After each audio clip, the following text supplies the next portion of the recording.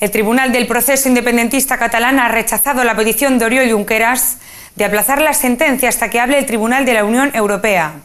Los magistrados han explicado que la cuestión planteada sobre la inmunidad parlamentaria es un incidente autónomo que no condiciona el dictado de la sentencia. La sala del Tribunal Supremo que ha juzgado el proceso independentista en Cataluña ha rechazado la petición del ex vicepresidente de la Generalitat, Oriol Junqueras, acusado por rebelión, de aplazar el dictado de la sentencia hasta que se pronuncie el Tribunal de Justicia de la Unión Europea sobre el alcance de la inmunidad de este como eurodiputado. El tribunal explica en un auto con fecha del pasado 3 de octubre que la cuestión planteada en julio afecta a un incidente autónomo en dicha pieza de situación personal sin condicionar el contenido del pronunciamiento. Añaden que tampoco condiciona el dictado de la sentencia del proceso independentista las consecuencias que pudieran originar la autorización o denegación del permiso penitenciario.